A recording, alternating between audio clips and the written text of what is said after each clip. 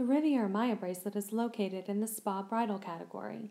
Each bracelet is designed to be uniquely one of a kind every time. No two bracelets will ever be identical. Designed with hand set rhinestone crystals, freshwater pearls, and beading, this center catches every drop of sunlight for a walk down the aisle.